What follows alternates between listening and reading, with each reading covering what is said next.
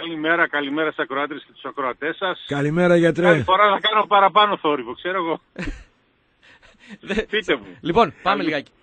Ε, πολλά τα ζητήματα και φυσικά θέλω λίγο να ξεκινήσουμε από, τις, ε, από την καταγγελία που κάνετε πριν από λίγες ημέρες αναφορικά με το γεγονός ότι η ΜΚΟ είναι κράτος εν κράτη και ότι έχουν φτάσει στο σημείο μέχρι και να προσλαμβάνουν για γιατρούς ανθρώπους οι οποίοι δεν είναι γιατροί. Είναι έτσι; Κοιτάξτε, εγώ δεν είπα για όλες τις ΜΚΟ, αλλά είπα ότι πολλές ΜΚΟ συμπεριφέρονται σαν να μην υπάρχει κράτος.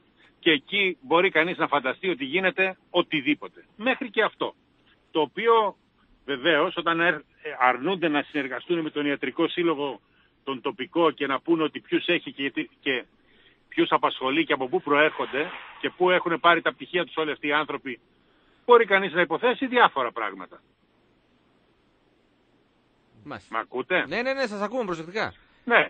Λοιπόν, τώρα και η καταγγελία προήλθε από το γεγονός ότι υπήρξε άνθρωπος ε, γιατρός από την ε, Γαλλία ο οποίος ζήτησε πιστοποιητικό από εμάς μετά από δύο χρόνια εργασίας σε ελληνικό νησί έχοντας την αίσθηση ότι όλα είχαν γίνει έτσι όπως έπρεπε να έχουν γίνει δεν είχε γίνει απολύτως τίποτα και ο άνθρωπος αυτός έχασε δύο χρόνια από το βιογραφικό του διότι δεν τι έκανε αυτά τα δύο χρόνια. Μάλιστα. Μας λέτε λοιπόν αγαπητέ Πρόεδρε ότι οι ΜΚΟ έχουν ακόμα και αυτό το δικαίωμα να φέρνουν γιατρούς από οποιοδήποτε μέρος του κόσμου αυτοί οι γιατροί να μην παίρνουν μια έστω πιστοποίηση ότι είναι γιατροί από τον Όχι αντίστοιχο πιστοποίηση, άδεια άσκησης χρειάζεται. άδεια Ευρωπαϊκή χώρα άσκησης είμαστε. εντάξει Όχι α- πιστοποίηση. άδεια άσκηση. άσκησης δηλαδή Δεν μπορώ είναι να έρθω περίπου. εγώ και να δηλώσω γιατρός και να μην έχω πάει μ, ποτέ μου στην ιατρική σχολή ακόμα και της χώρας μου έτσι δεν είναι Ε, ξέρουμε ότι σίγουρα αρνούνται. Και αρνούνται και με έναν τρόπο ανεδί πολλές φορές. Ανεβεί, πολλές ανεβεί φορές. είπατε. Τι... Ανεδί, ναι, ανεδί. Ναι, ναι. Ανέβη. Ναι, ναι. Τώρα τι υποκρύπτει και γιατί συμβαίνει αυτό το πράγμα δεν μπορώ να το ερμηνεύσω. Αλλά ξέρουμε τι, τι συναντούμε. Μάλιστα. Ένα δεύτερο θέμα είναι, Πρόεδρε, ότι αυξάνονται συνεχώς οι καταγγελίες για τις τεράστιες ελλείψεις στα νοσοκομεία μας.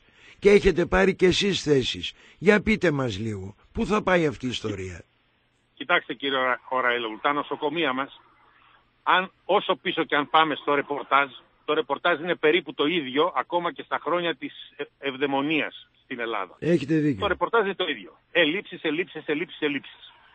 Εμείς έχουμε πει ότι το σύστημά μας νοσεί στην οργάνωσή του.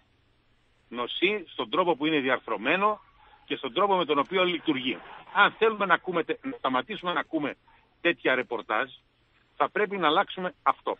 Αλλιώς, ακόμα και αν βρούμε πετρέλαιο σε ατεριόριστες ποσότητες, τι θα ακούμε παρόμοια πράγματα.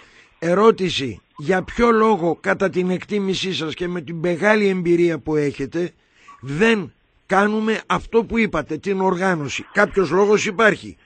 Ένας λόγος θα μπορούσε να πει κανείς ανικανότητα. Ένας άλλος θα μπορούσε να πει κανείς άγνοια. Ένας άλλος λόγος θα μπορούσε να είναι κάποια σκοπιμότητα. Σκοπιμότητα. Εσείς που το αποδίδετε.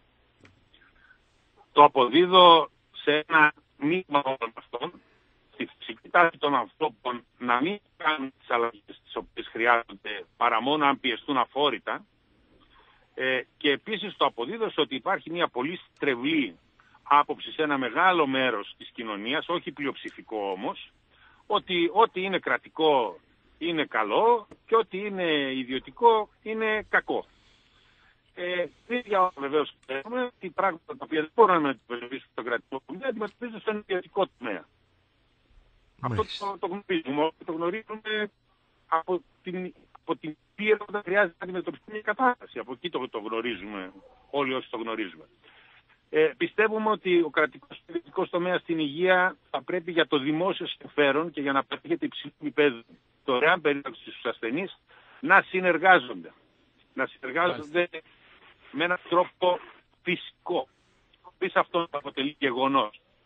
Και νομίζουμε ότι ε, θα πρέπει να αλλάξει το νομικό σύστημα, ε, η νομική μορφή όλων των νοσοκομείων, να γίνουν σαν το Παπαγεωργείο.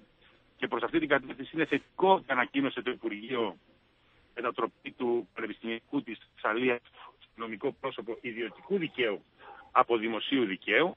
Αυτό θα φέρει αλλαγές στη διοίκηση, η οποία δεν θα εξαρτάται από, το, από, το από την εκάστοτε κυβέρνηση και θα λειτουργήσει θετικά. Και ένα τελευταίο ερώτημα αγαπητέ Πρόεδρε, δεν ξέρω αν ο Στέφανος, ε, σχετικά με τον κοροναϊό, Ε, αυτό- αυτό θα ρωτήσω. είμαστε επαρκώς εξοπλισμένοι για την αντιμετώπιση του; Κοιτάξτε, για τον κορονοϊό θέλω να πω ότι δεν έχουμε άρρωστο στην Ελλάδα. Οι ασθενείς που υπάρχουν σε όλη την Ευρώπη είναι μερικές δεκάδες.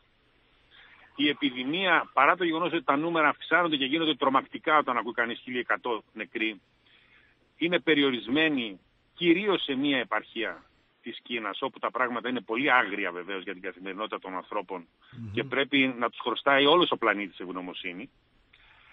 Ε, και είμαστε έτοιμοι να απομονώσουμε τον πρώτο ασθενή που θα βρούμε, αν, το- αν τον βρούμε και όταν, όταν τον βρουμε και να κάνουμε και όλα τα απαραίτητα για να μην έχουμε διασπορά. Θέλω να στείλω όμως ένα μήνυμα πολύ απλό, κατανοητό και σαφές προς όποιον μας ακούει.